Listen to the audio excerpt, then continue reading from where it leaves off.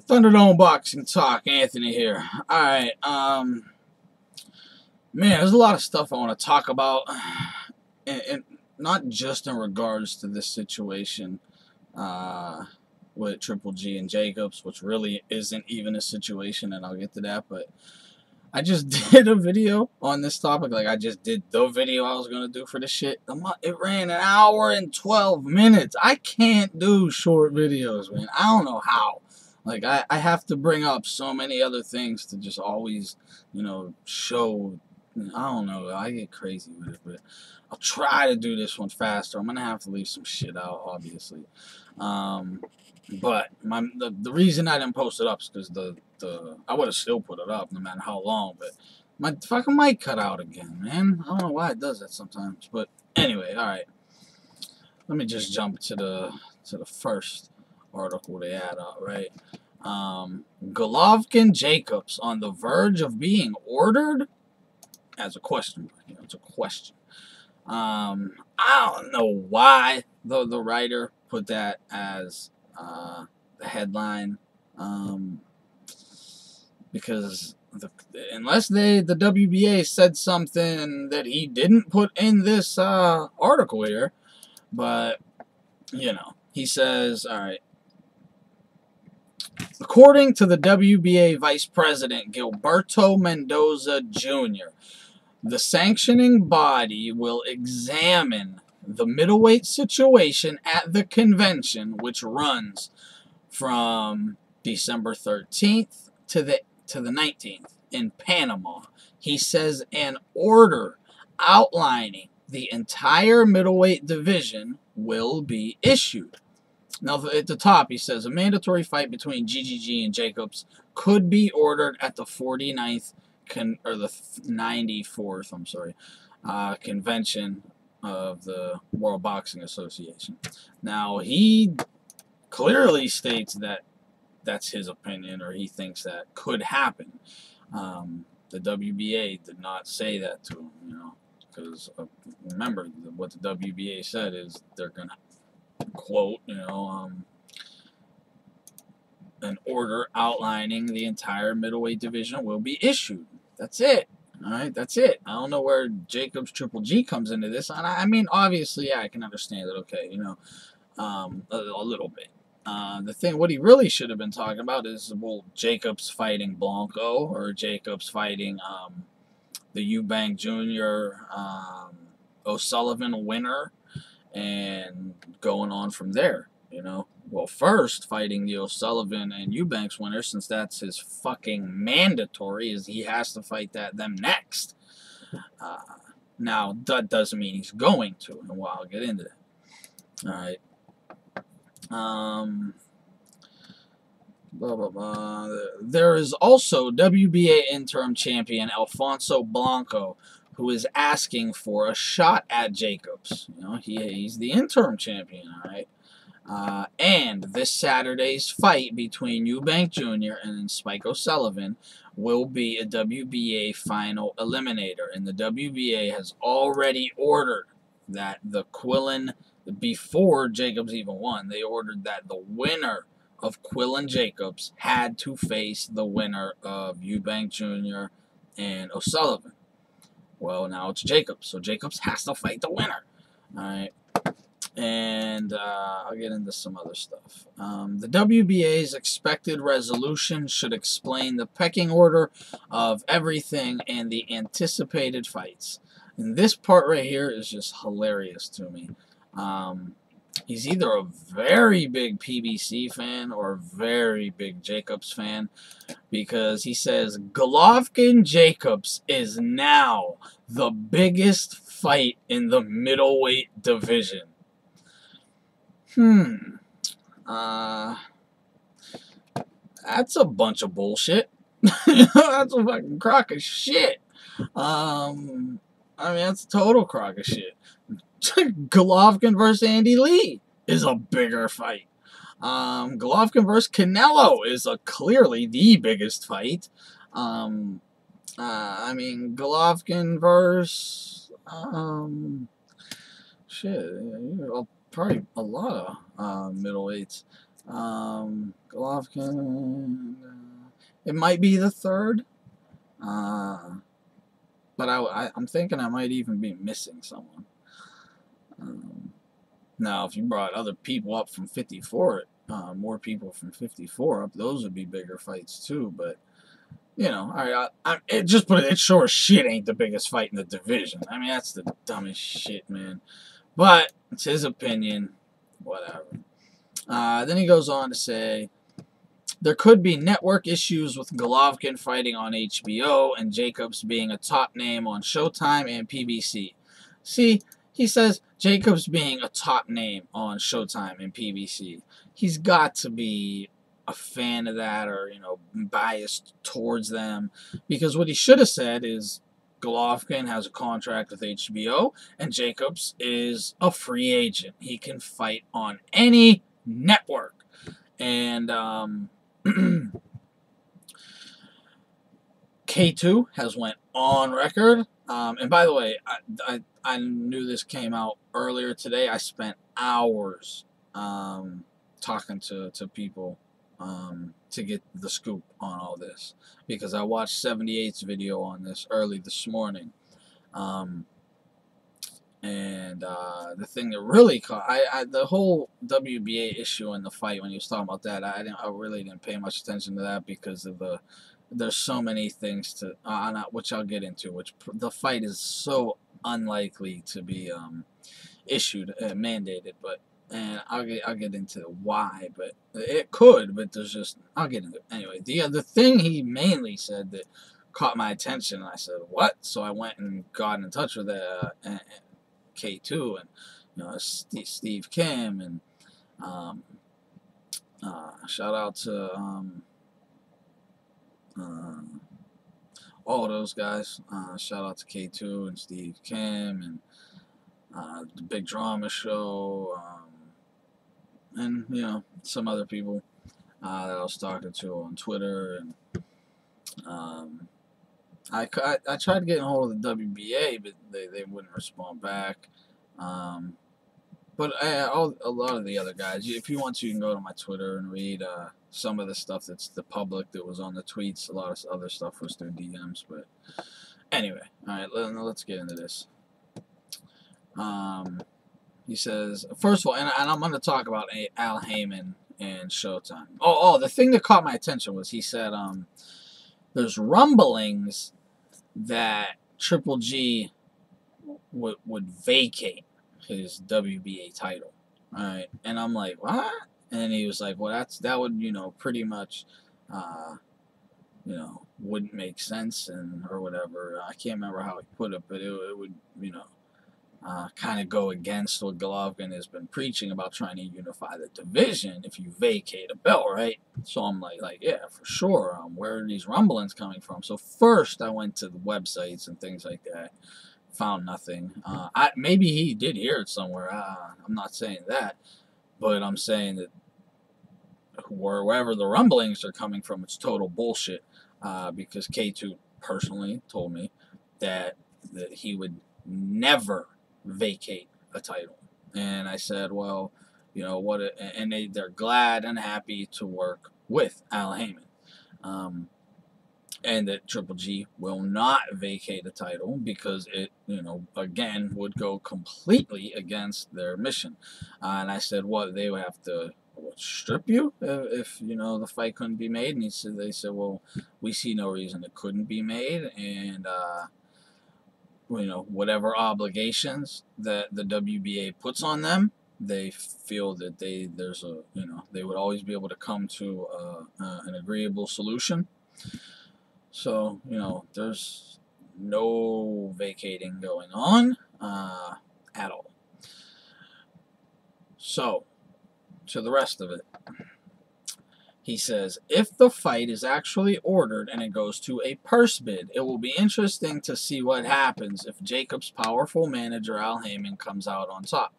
It's unlikely to see Golovkin fighting outside of HBO, but vacating the WBA belt would go against his goal of unifying the entire division. It would. Uh, exactly. And they're not going to vacate. Um, if they want a purse bid, you know, and the WBA, first of all, the fight, the, the like, he's acting like it's gonna be ordered. There's, you know, no clear. All right, look at it. All right, first of all, first things first. Um, the WBA ordered that Jacobs has to fight uh, Eubanker, Spikey O'Sullivan. So that comes next. Okay. He could lose. I don't think he can't. He could lose. Um, so that's a possibility right there, and that would stop, you know, to, to even think of it. Um, now, remember, he might fight. Uh, the thing that really more worries me a lot more about not being able to get an undisputed champion is if Danny Jacobs gets the WBO title, because then he's he will never fight Golovkin. Uh, he's never gonna fight him. I mean, uh, and I'll get into that. You know, first of all, he said before he didn't want to fight him, but he's not going to come out now after his best win and say, I still don't want to fight him. But wait till you hear what he has said, though. Um, now, uh, the WBA has said that they expect negotiations to commence within 30 days of Eubank Jr. versus O'Sullivan. Uh, which takes place on December 15th. So by January 15th, um, Jacobs is going to be have to be in negotiations with the winner of that fight, um, or he's might get stripped, you know, flat out stripped. If he don't fight them, he will get stripped.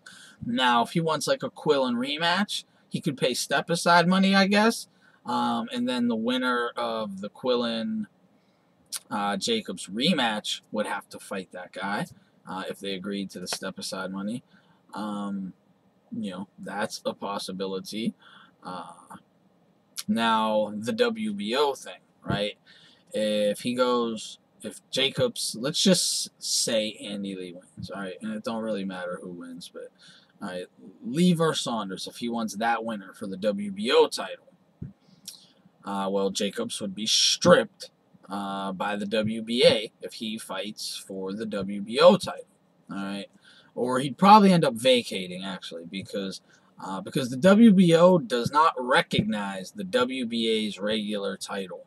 Uh, the WBO states that you cannot unify with a regular title. Um, so Jacobs would most likely have to vacate. Like, say the Lee wins, and Jacobs is going to fight Lee for the championship, the WBO. Well, the WBO is right off the bat going to be like, uh, you can't unify with this. So, he, he, so, and so he'd probably have to vacate before. Um, but now I'm not sure how it would work. I couldn't find that out now exactly. Uh, but the most likely thing is that he would vacate. Um, but and that's probably the likely outcome. He's probably not even going to fight the Eubank Jr. O'Sullivan winner. If Lee wins, you know, if Lee wins, it might be likely that he fights Jacobs. But, um, excuse me, the, I'm trying to figure out how to word this. Like, all right, if, if Lee wins and Jacobs has the WBA regular title still, and he fights Lee and loses, well, that title goes to Andy Lee, but then gets removed right off of him. So either way, Jacobs don't have it. If Jacobs takes that fight and loses, he's no longer the WBA regular champ. If he takes that fight and wins, he's the WBO champ and can no longer be the WBA regular champ. All right, you see how many outcomes there are that, you know, uh, other, you know, very likely scenarios of what's going to, what his next couple fights are and how that can change up so many things and probably to where he won't be. I mean, if he fights Lee, no matter what, you know, win or lose, he he ain't going to be the WBA's regular champ. So if he fucking fights Andy Lee, um, you know, then uh, he's never he's never going to be mandated to fight Golovkin. So I don't know why the guy's like, oh, you know, it's such a possibility. It's such a slim possibility. I mean, he might get stripped it, it just if he wants a Quillin rematch. Um, then if if he doesn't fight um, Eubank Jr. or O'Sullivan, the winner, he gets stripped. If he fights them and loses, he don't have it no more. Um, if he fights them and wins, he'll probably have to fight Blanco after that. You know, it's you know, come on. And plus, the WBA, um, well, all sanctioning bodies put unification fights above uh, mandatories. Now, if Golovkin is going to fight, you know, uh, uh, someone for the WBO or someone for the WBC, he ain't mandated to fight. Uh, um, even if he is mandated, he can still go fight a unification and they won't strip him. You see? So he could keep fighting, you know, unifying up titles and wouldn't get stripped and maybe wait till his contract runs out with Showtime. But the new guard at Showtime, um, they don't have, there's nobody there no more that has bad blood with Al Haymon. Um, and I'll, I'll get into that too, right? The some people say that HBO is the reason there's no Al Haymon fighters on HBO. The HBO don't allow Haymon fighters on HBO.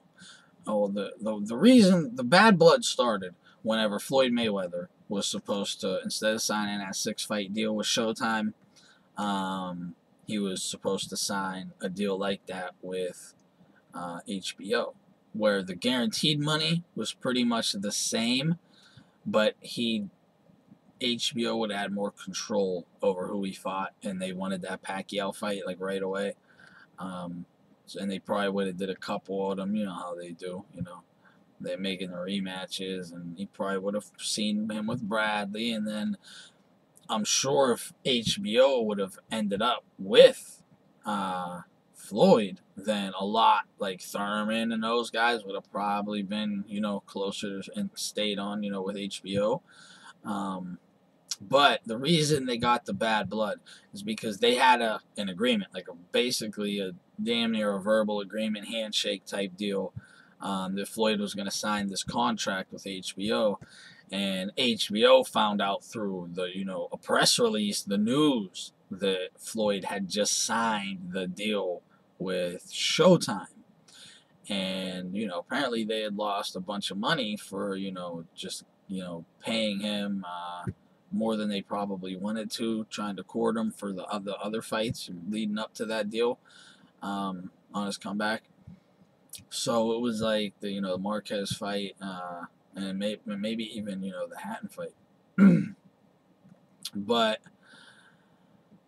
that's where it all started, right? And you know that's where the bad blood between the old guard at HBO um, and Haymon started with. Now, a top dude at HBO was on record um, leading up to the May Pack fight that, you know, even if, you know, Floyd wins and his contract runs out, he will never fight on HBO. Like, they were pissed at Floyd. They, they said he would never fight on HBO again. They didn't care um, about the other fighters, Haymon fighters. Um, people saying that Al Haymon, uh, his fighters weren't allowed on HBO. I mean, it makes no sense. Uh, I'll give examples. You know, Kathy Duva had Sergey Kovalev. She wanted the Adonis Stevenson fight. Now, I'm not talking about when you know the fight was right about to be made and he signed with Haymon and skedaddled. I'm talking about a few months ago, right before the purse bid. Because why does a purse bid go happen? Because they couldn't come to an agreement. All right, so purse bid was ordered, but they were trying to come to an agreement first, and the agreement that they could that Al Haymon wouldn't agree to, um, which was like the fairest fucking agreement in the world, um, you can't get any more fair than this. Uh, Kathy Duva wanted to do a 50-50, you know, main events and whatever shield promoter, uh, you know, Al Haymon wanted to use. wanted to do a 50-50 promotion deal, 50-50 on the fighters' purses, everything 50-50, right down the middle. Bam, split everything, put it on HBO. They wouldn't agree to that. Now, that's all on record. All right, that's a fact. So if if HBO wouldn't allow if HBO didn't allow, and this was just a couple months, a few months ago, with the old guard still at HBO, you know, because they, they just got rid of Hershman and some other guys, and they got a new guard over there. Um, but this was with the old guard. Now, if they weren't allowing, if they weren't allowing any Haymon fighters on their network, you know, if they wouldn't do any business with Al Haymon, why the fuck were they willing and trying to get the Adonis Stevenson versus Sergey Kovalev fight on HBO? Clearly, you know, if if if Adonis and Al Haymon would have agreed to that, well, then it would have been on HBO. So how the fuck did HBO not allow any Haymon fighters on HBO? I mean, it it makes no sense. It's it's a lie. It's wrong. It's wrong information when people say that. You know, that's per purpose, like perfect example right there. All right. Um, for how long have they has Kathy Duva been trying to get Adonis to come over and just do one fight on HBO? Like, even though it's one fight uh, or only one fight, it's still Al Haymon doing business with HBO. Something that you know they said HBO would never doesn't work with Al. They won't let any Al fighter uh, uh, uh Al fighters on HBO. Well, clearly they were gonna let Adonis. And another one uh, this is only a possibility, uh, but this is, you know, a good example. Um, Korobov versus Peter Quillin. Uh, remember, Korobov was a is, is, still is a top rank middleweight. Uh, Quillin, Al Haymon middleweight, but Roc Nation ended up winning the the purse bid to promote that fight. They didn't have a fighter in it, you know, in that main event that fight, but they could have put maybe got don't know. They wanted to get their hands in the you know the game, so they went out, put a nice number out. Remember, it was a huge uh, amount. It was core, uh, both of their highest paydays, and Quillin dumped the fucking title, so he didn't have to fight Korobov. But look, like, no matter how you look at it, okay, top rank and Roc Nation would have talked, okay? And that is, uh, you know, Korobov's promoter, top rank. Now, Quillin well, Al Haymon and Roc Nation, they really wouldn't have talked that much, right? I think we could agree on that. they don't like each other. But let's say they let's say they said okay and Quillin didn't dump the title and decided to fight Korobov. Don't you think there's a very good chance that fight would have been on HBO? I mean, when you know when is the last time a you know and this was not long ago. Uh, this was just months ago. When was the last time a top rank fighter has been on Showtime? And this was before the PBC existed, so uh, when was the last time a top ranked fighter was on Showtime? You know, a, a, fighting for a championship. All right, and Roc Nation won the purse bid. So, you know, are they going to go and put that their card on the Al Haymon network and work with Espinoza and Al Haymon and on their network? Fuck no. Who you think they're going to be more friendly with? Top rank. And where do you think Top Rank's going to say, put that fight? HBO. And even if that's not guaranteed, that's a fucking 50-50 possibility. And that would have been another Al Haymon fighter on HBO. Uh, Leo Santa Cruz. No, I got another one. Oscar De La Hoya.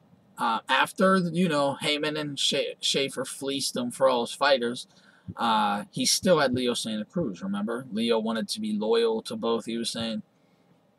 Well, at the time, again, this was on record. I even have videos on it. Um, he was trying to get Leo the Rigo fight and two other uh, fights, and he was put, gonna put him on HBO. Remember, because he had just gotten fleeced. He ain't going to Showtime, um, and he was trying to work with HBO. All on record.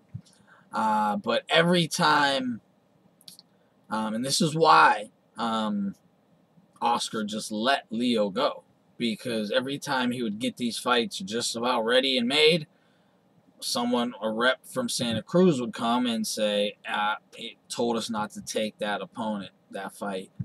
Um, and blah blah blah. So, and he said he, it happened three times, and he said, "Get get out of here, go on. Just I can't can't do anything with you. So what's the point of keeping you?" So right there, that's three Al Haymon fighters that could have easily, easily could have, and we're going to fight on HBO if Al Haymon had let them. So how is it that HBO is the guy, the reason that Haymon fighters ain't on HBO? I mean, it's it's not. They're not the reason. Al Haymon's the reason. I mean, show me examples going the other way. Show me once when they said, no, that guy ain't coming on our network. Please, someone show that. Uh, clearly, they said he could. Um, Golden Boy has said before, before this new guard came in, K2 was on record um, saying they would gladly work with Al Haymon. Golden Boy uh, even said they would gladly work with Al Haymon. Um, Top Rank tried working with Al Haymon how many times um, for a few different fights. Uh, I remember the Boxing Voice interview. Um, uh, Bob Arum was like, he, he kept calling Al Haymon the man who works with nobody because he kept trying to make fights and Al wouldn't work with him. So eventually, yeah, Bob got pissed and was like, fuck you, man. You know? So, you know, it's a crock of shit. Al Haymon is the reason none of his fighters have been on HBO. Alright? So now we have a new guard. There's no bad blood. So maybe Haymon will work with them now. Uh, because he, you know, none of the people over there are his enemy anyway, you know, or people that he don't like. Uh, but you know, of misinformation out there. Um, so I wanted to talk about that. Um, oh, okay. Uh, another thing. Um, like when did Danny Jacobs become all of a sudden this badass? The dude has never beaten anyone anyone except Quillin. And Quillin was never shit. Like, like Quillin was never shit. Um, like, I don't know how people have J Danny Jacobs all of a sudden is some badass fucking middleweight monster. Um, just a week ago, you know, he was a, a scrub. You know, a decent scrub, right? Uh, you know, no one was picking him to win. Uh, I, looking back on it, I don't know how I didn't pick him to win, but I, I was, you know, I, I guess it was because the, there. Well, let's look at it this way. And another thing, okay, let's start it off like this. Uh, on Showtime, they said that uh, Danny Jacobs' win over Peter Quillin is Peter Quillin's a bigger, uh, it, it's a better win than any other win or any win period on Gennady Golovkin's re resume, saying that you know Gennady beat nobody like Quillin. um, I addressed this before, and I, I actually saw uh, the video Sean did where he talked about this and I commented on that too. I was thinking, I was telling him, I thought, I thought the exact same thing. And the points he brought up are the points I'm going to bring up too. I'm going to get a little, um, talk about it a bit more. Quillin's two, only two wins, only two good wins. He has two decent wins, and they're not only one of them's decent. Um, Rosado and N'Dam. Let's talk about Rosado first, though. Rosado was beating his ass.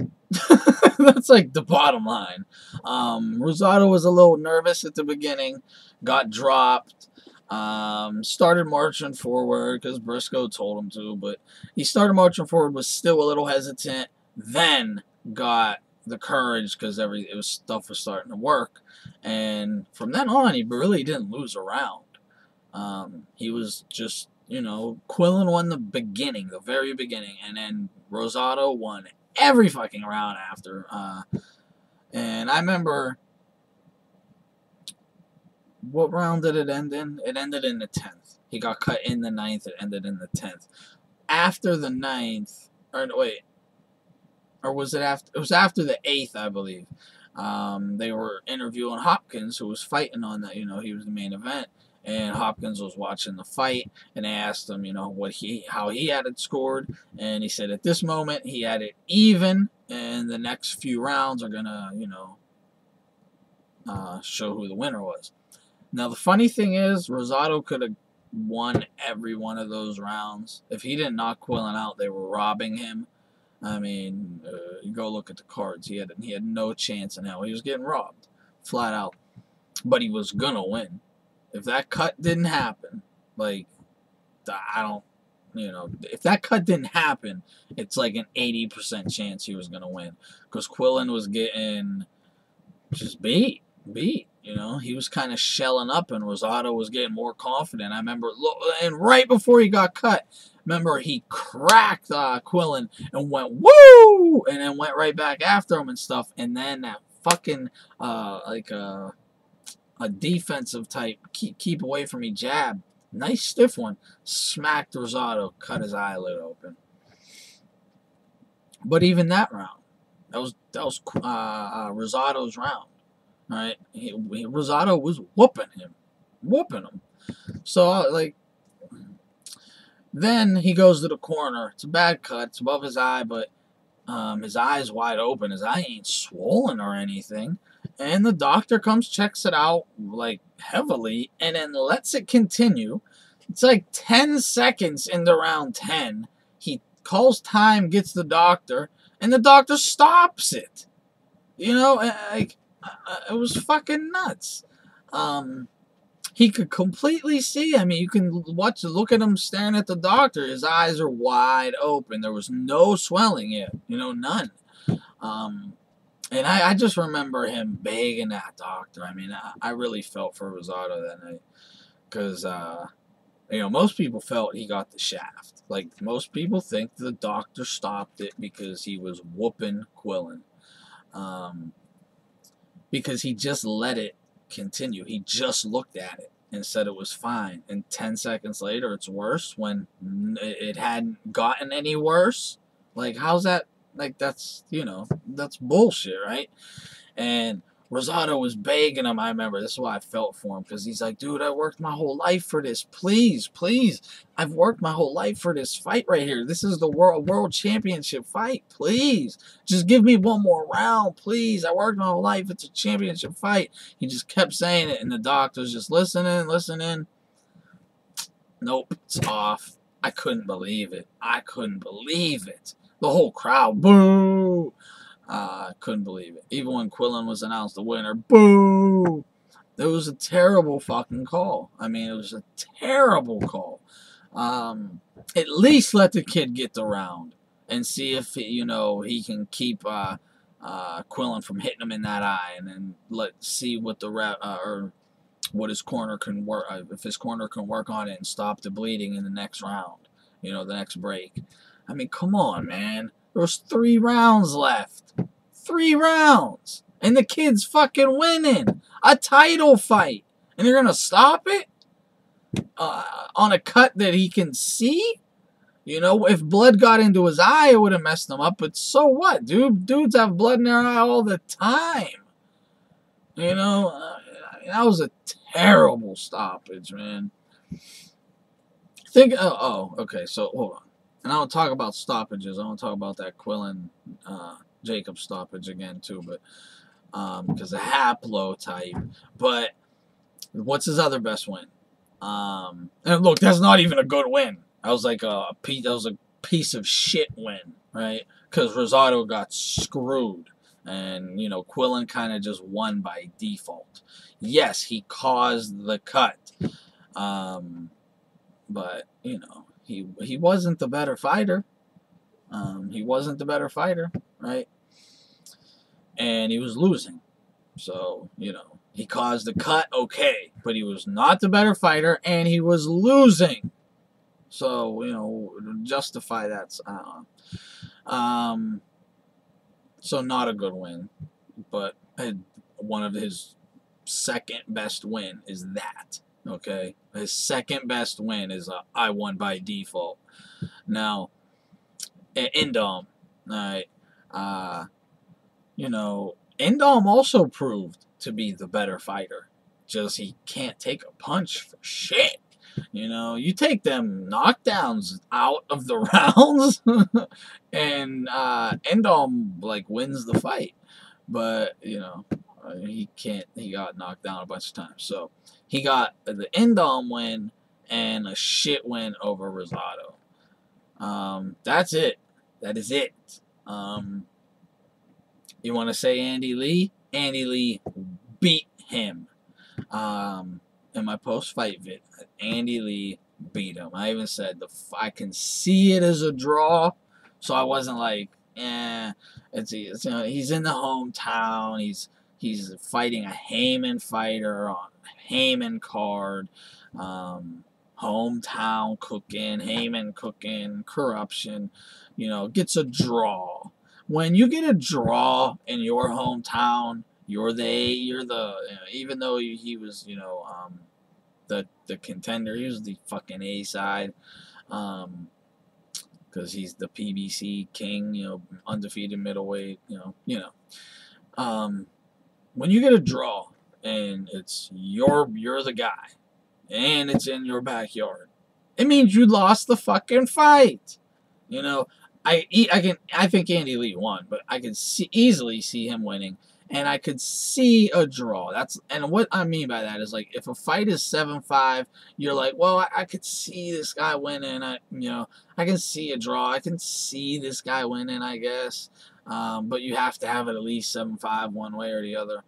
Well, when I say I can see a draw, you know, most people agree, you know, it's Andy Lee won or a draw.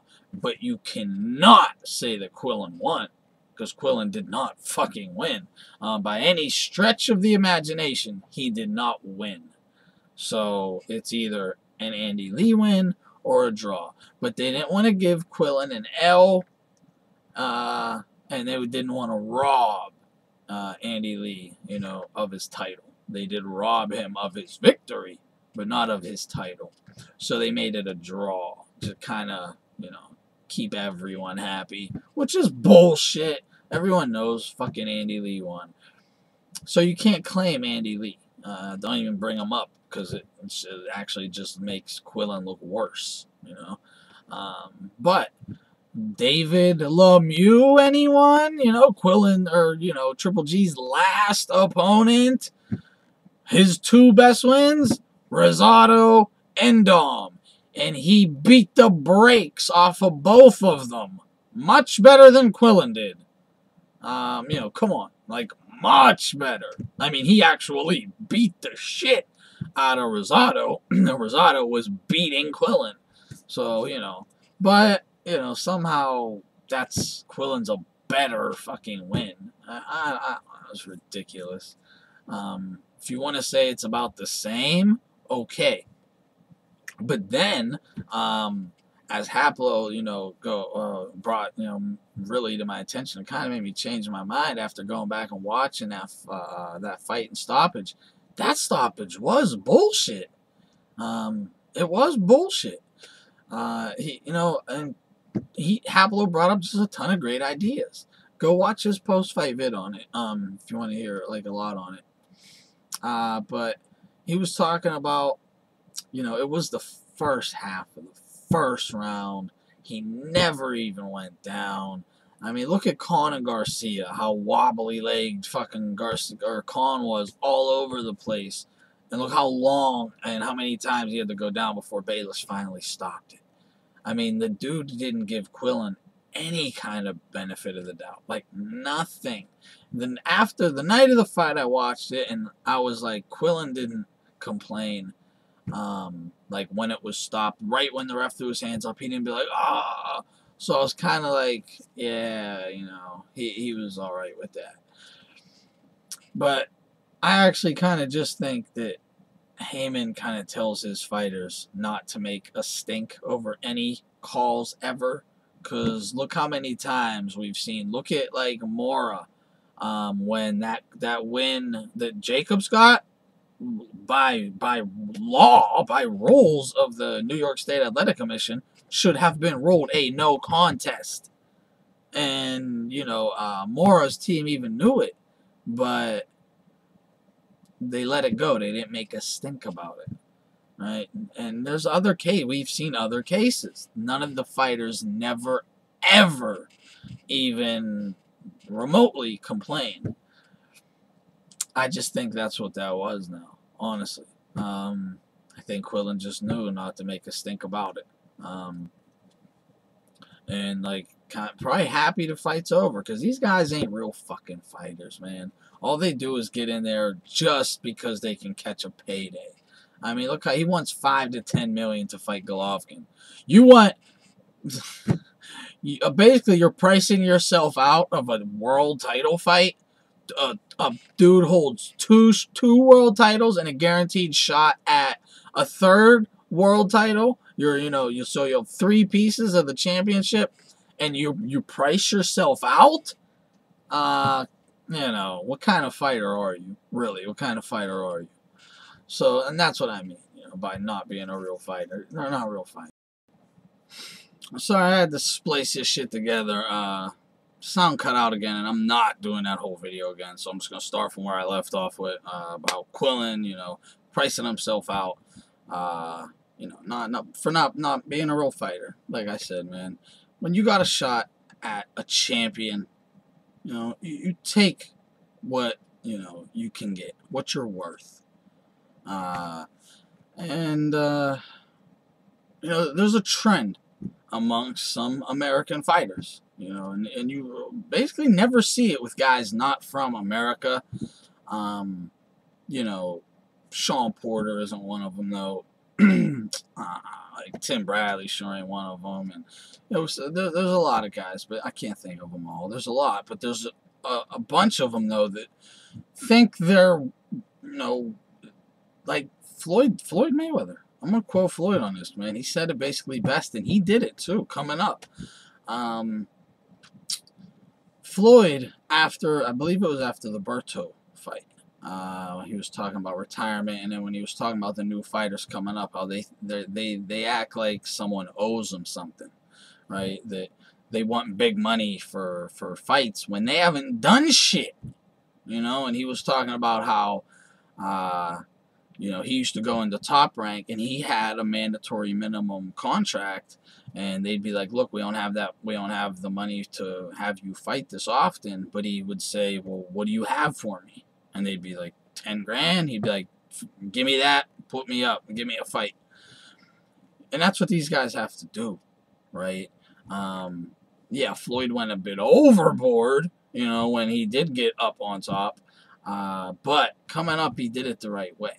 You know, these guys, like, I'm going to read you even a quote. Let, let me read this shit right here. What Danny Jacobs said about the possibility of fighting Triple G. Just said it today. Um, let me find a quote. All right. I, I didn't come into this sport to duck and dodge no one. Well, he's not going to say he doesn't want to fight Golovkin after his biggest win. Um, but he has said before that he didn't want to fight Golovkin. I mean, we all know it. Uh, but, you know, maybe he changed his mind. Who knows? But listen, he goes, Golovkin is not someone who I fear. He's not someone I look at as me wanting to avoid.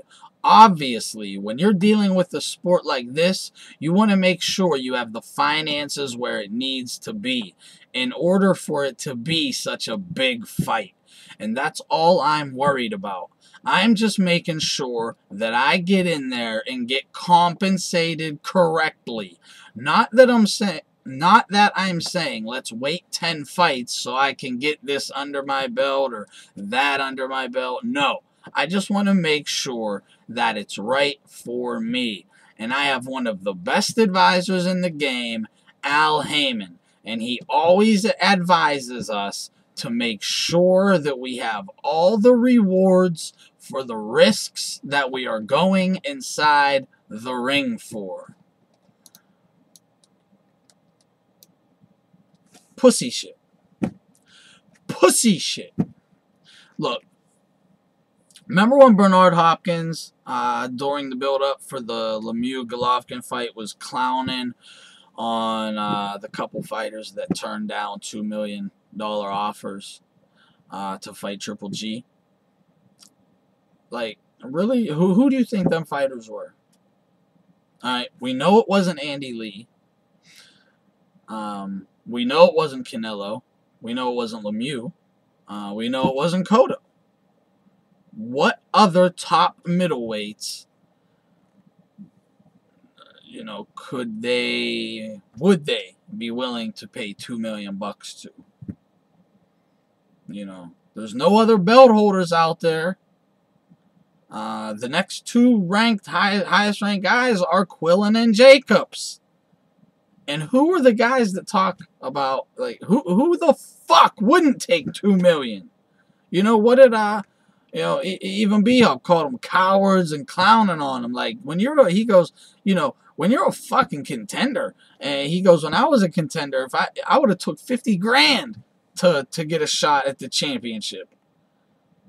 You know, uh, I mean, come on. These guys are wanting millions when they haven't done shit in the sport. Are you kidding? You've accomplished nothing but became a contender. You know, hey, hey Jacobs, I got a belt too, buddy. You know, it they're fucking meaningless. Your belt is meaningless. You're not a champion. You're a contender. That's what those other belts mean. You're contenders. Alright, that's all they signify is you're a top contender. I mean, it's nuts, right?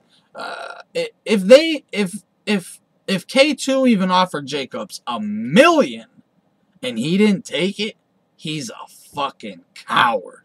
Why? Uh, why? Because you're getting them offered a million dollars to fight for the championship of the world. You know, um, two belts, two world titles guaranteed. There's two pieces of the championship and a guaranteed crack at the third and you're not going to jump at that opportunity? Like, what kind of fucking fighters is America breeding anymore, man? Like, uh, I don't know if I covered this in the other one, but Amer America's breeding soft ass dudes. You know, part of it is, you know, these guys with Al Haymon just getting a lot of money to fight bums. Um, so when they actually have to take a tough fight, they just don't want to take it. They'd rather just keep fighting bums. You know, shout out to Shawn Porter who don't want that. But my one of my one of my ex favorite fighters, Keith Thurman, who is no longer one of my favorite fighters, um, he can become one of my favorite fighters again if he, you know, climbs out of whatever fucking hole he's hiding in um, and addresses this Shawn Porter shit and takes the damn fight you know. But, and the rumors are Thurman isn't taking the fight because he wants more money and somehow, you know, he deserves it and it's justified. Um, and the other one is that he just doesn't think he can beat uh, Shawn Porter. Um, so, and the re I'll tell you why the money isn't justifiable. Because, number one, he just got millions to beat up on fucking tomato cans and he never did shit. He's a contender getting millions to beat up on tomato cans, and he's not selling the tickets uh, to pay his fucking own purse. Alright, so yes, he is getting overpaid. Do, am I glad that he's getting overpaid? Hell yeah, get your money, bro. But, you know, when a big fight comes around, you can't not do it because you're not getting money that you don't deserve anymore. There comes a point where like it's like, okay, look, I got all this extra money for these fights, but I knew that wasn't gonna last forever. Uh, I had to take a tough fight eventually. Same money, whatever. I mean, what did Golovkin get for Lemieux? Two mil. But you know, and what did what did uh, Thurman get for a tomato can? Like one and a half mil. I mean, does that make any sense? Any sense at all? When Golovkin can sell out any arena and Thurman can't?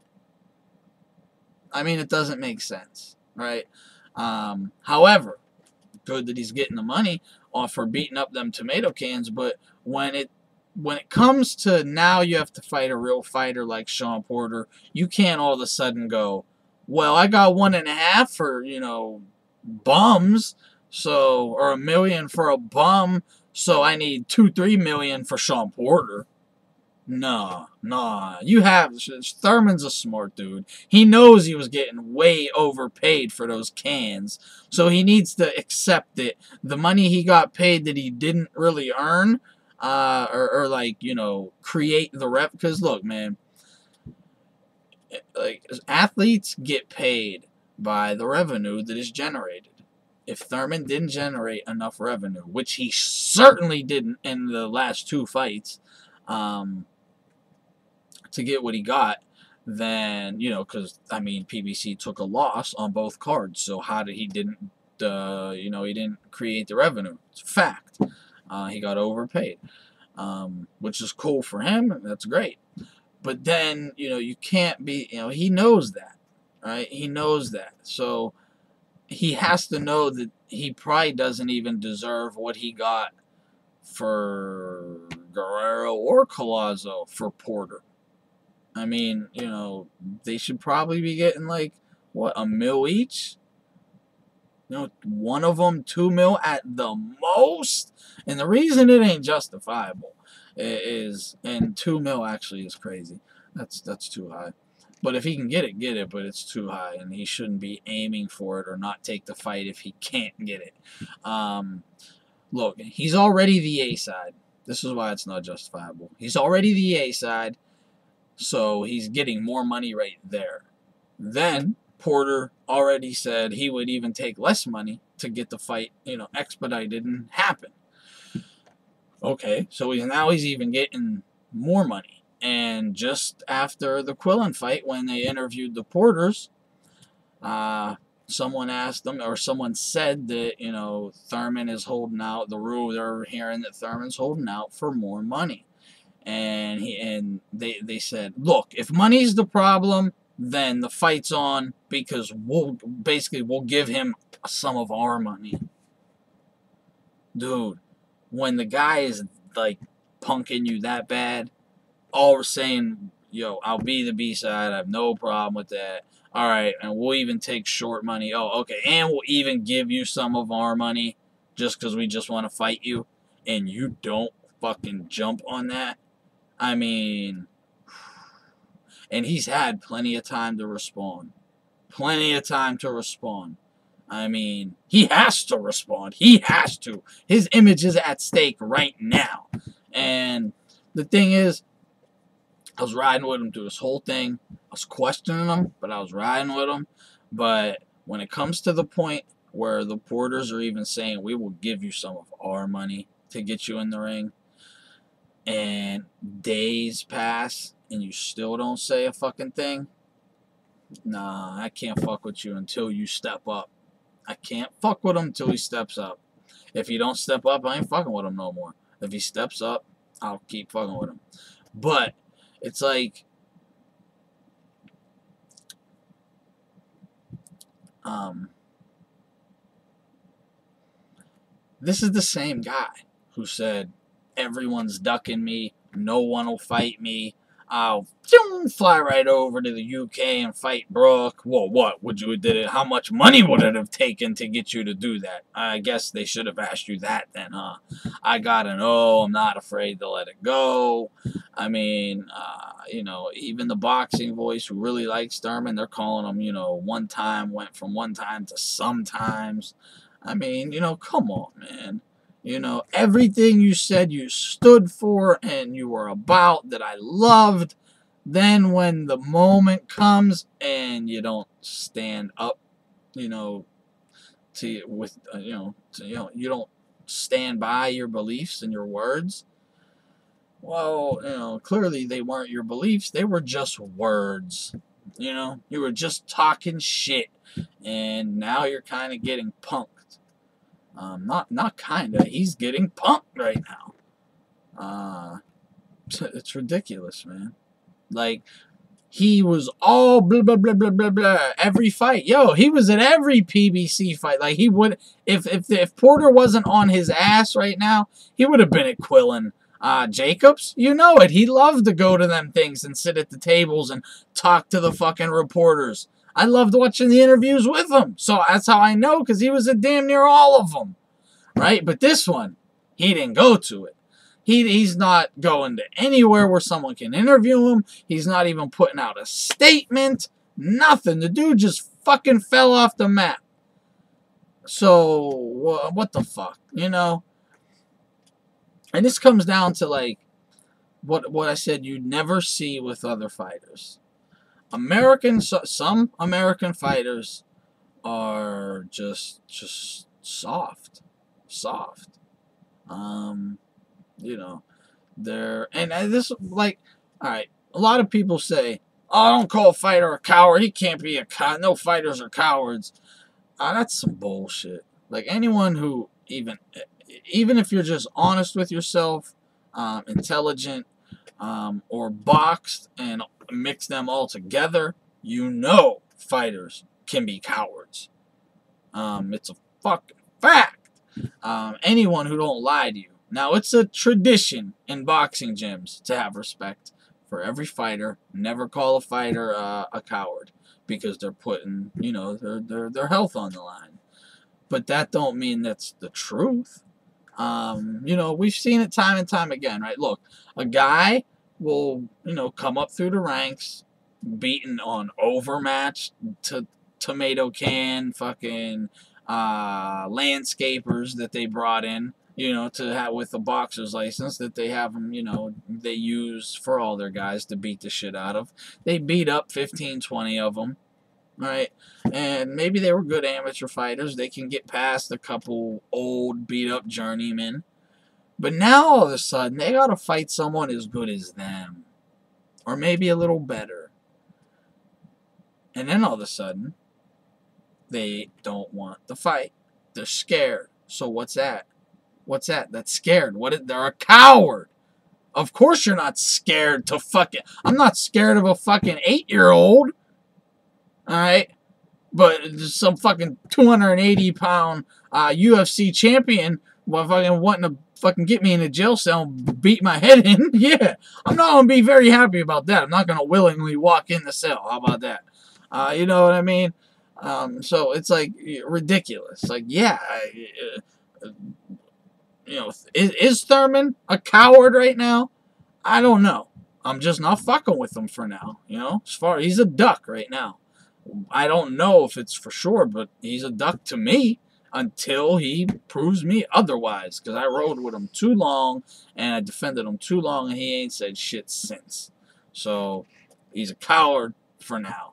That's the way it is. And if he ducks the fight, that's what it is. Boom, he's a duck.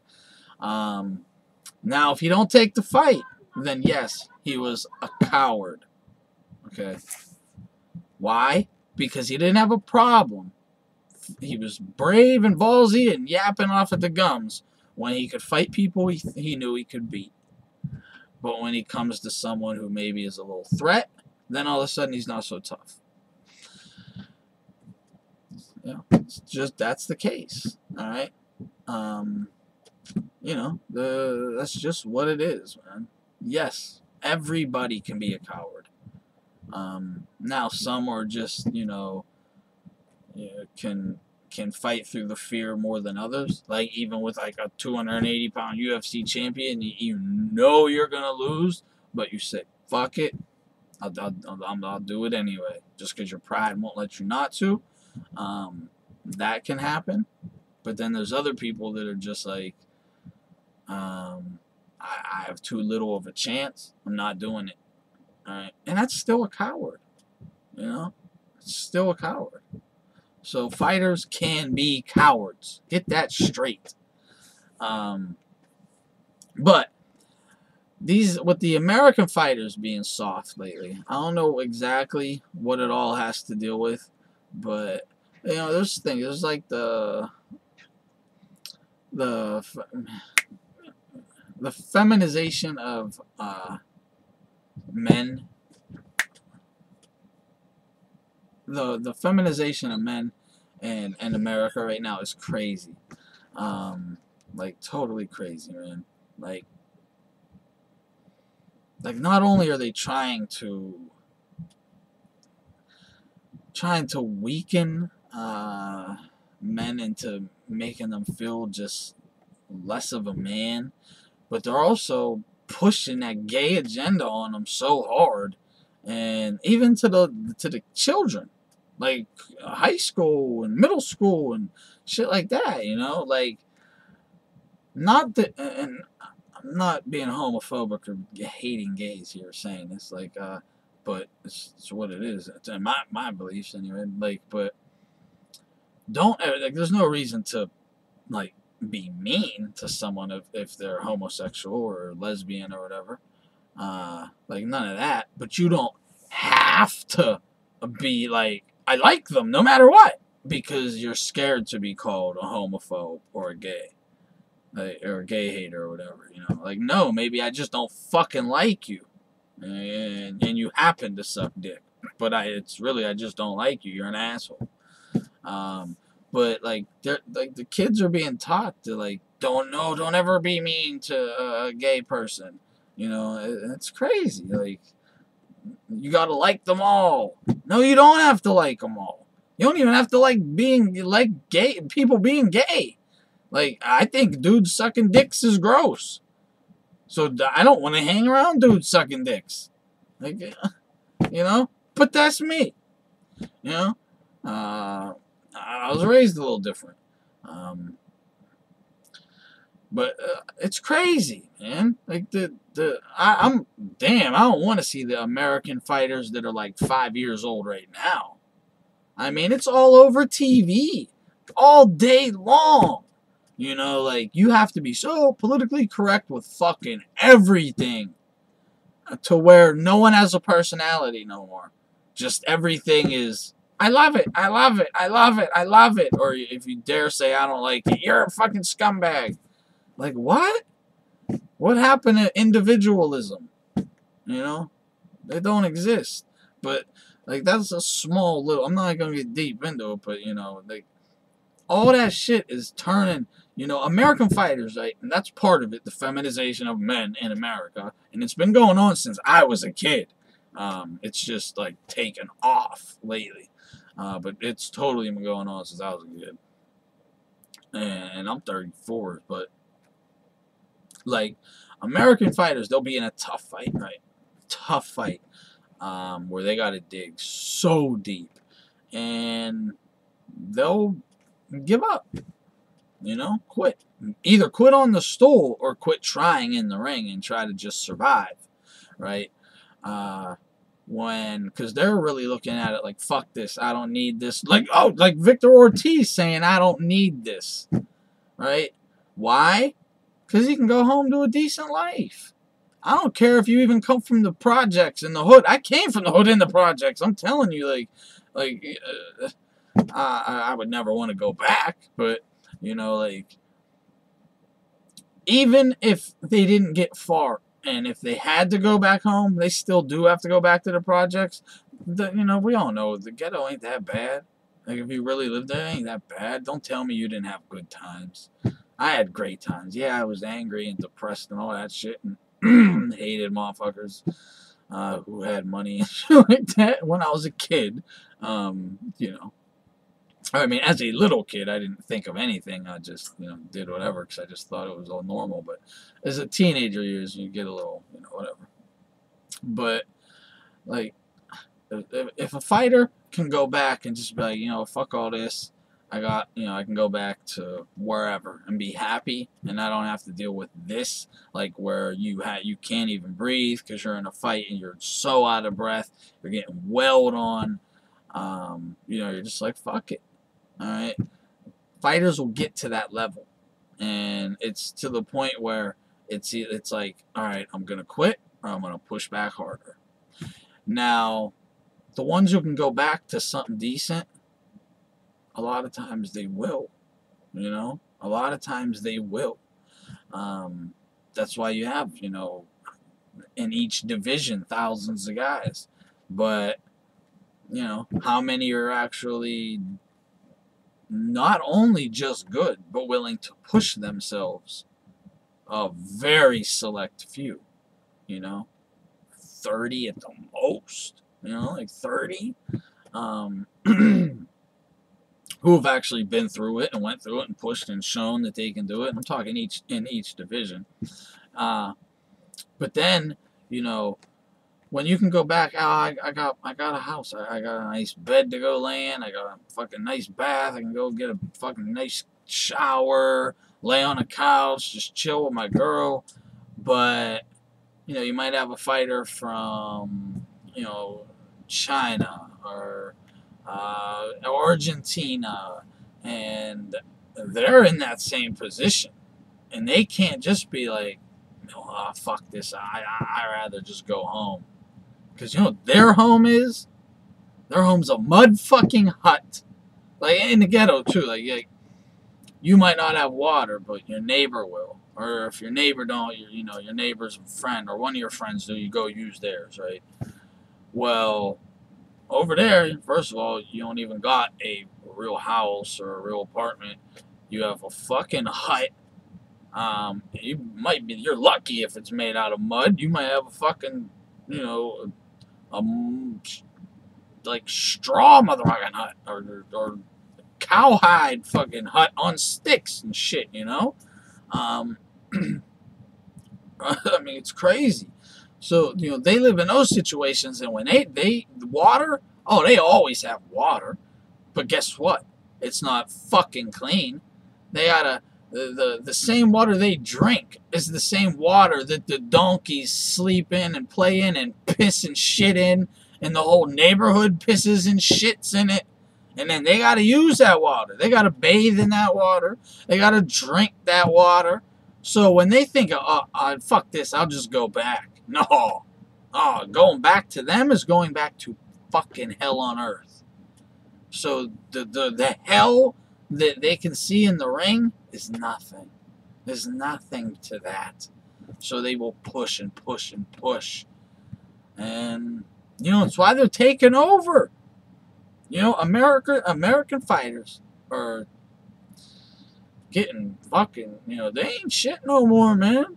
Globally, I mean, can we hold more titles? Well, yeah, I mean, you know, we're, you know, kind of, uh, I, I mean, you know, the Americans who have the titles won't fucking leave their fucking backyards to let someone else get a real equal shot.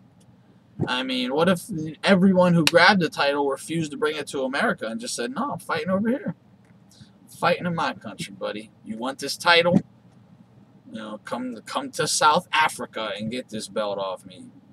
You know, that's why it's like I don't even blame these these, these foreign dudes. Uh, you know, dudes who ain't from America for not coming to America because American fighters have been doing it for so long. You know, like no, I'm not leaving my my country. Not even I'm not leaving my country. I won't even leave my backyard. I mean, it's like ridiculous. So it's like, dude, fuck fuck them, man. You do the same then. Do the same. I can't be mad at them. You know, it's like I, I don't want them to do it every fight.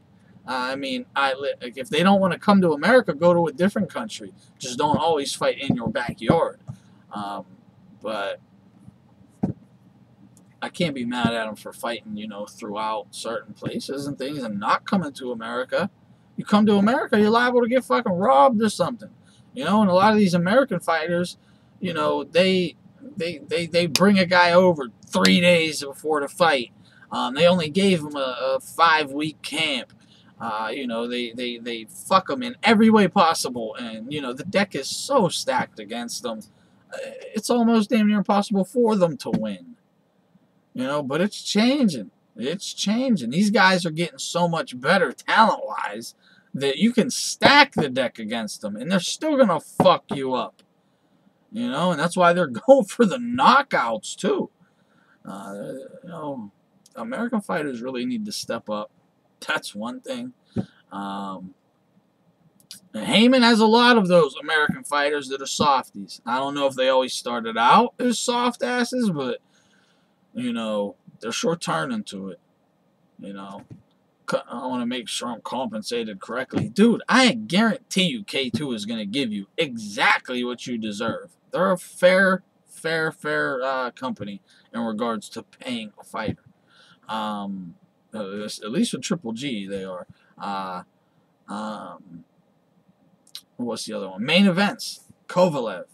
Um, trying to offer Stevenson 50-50. He don't deserve 50%. But fuck it, 50-50. Let's make the fight. Right? They're extremely, they're fair. But these guys don't want to take it. You know? Too many times. Too many fucking times. These guys are getting offered the perfect setup, perfect fights, you know, dead even, 50-50, whatever. And they won't take it.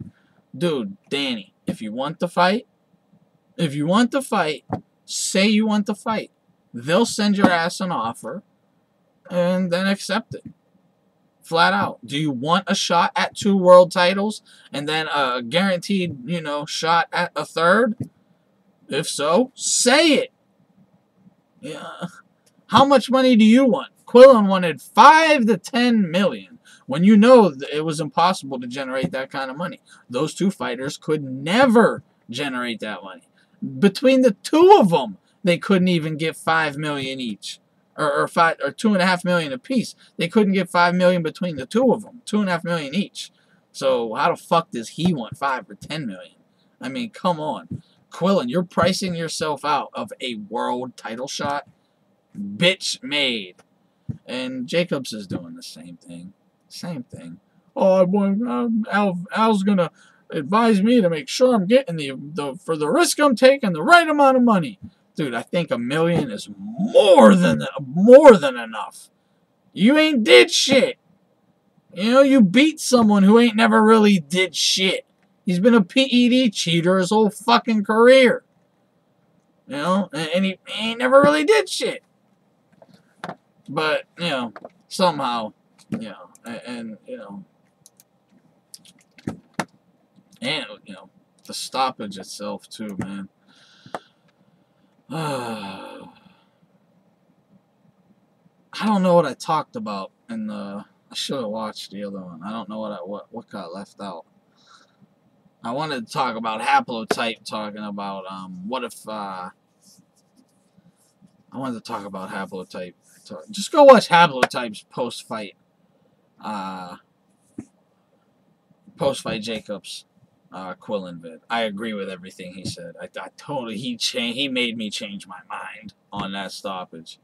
Um, if I didn't talk about it already, just go watch him. Uh, I was just going to tell you some of the key things he said um, that really made me change my mind. But you know, man. Uh, the the WBA. All right, let's just end this. The WBA is, you know, like very unlikely to order this fight. It's so unlikely. It can happen, but it's, it's just extremely unlikely. And if it does, it ain't going to be anytime soon. Um, you know, and Triple G is not vacating. Um, they will work something out, flat out. Um, and if for whatever reason, if the fight for any reason don't come off, I know it's because of Jacobs and Al Haymon. Um, you know, if because if if Triple G has to fight him, he's fighting him. There's like no question about it. Uh, why wouldn't he? So, you know, if if for some some if something happens where the WBA like if they go to a purse bid and he refuses. You know, it'll be similar to the Kovalev Adonis thing. So I'm hoping Kovalev and Adonis can get that fight done and get it on HBO. Uh, but I think Adonis is still gonna try to not do it. You know, because when he was on Showtime, he sure insinuated, you know, he sent the the the feeler that he wasn't gonna do it. Like saying, um, "Oh, I want to do it, yeah, in June, yeah, yeah," but you know, he he said HBO and I'm, you know, sitting in front of a Showtime billboard. We want to do a co-promotion like May Pack. Motherfucker, neither one of you were Manny or Floyd, and you're not a Showtime fighter. You're a fucking free agent who can fight anywhere. So go be an HBO fighter for one fight if you're such a badass. Then have every belt.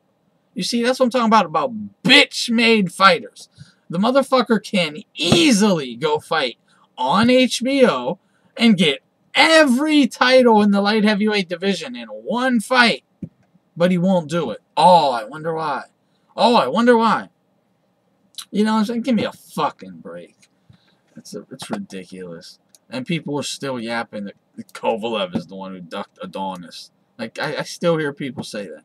You know, people are such idiots, man.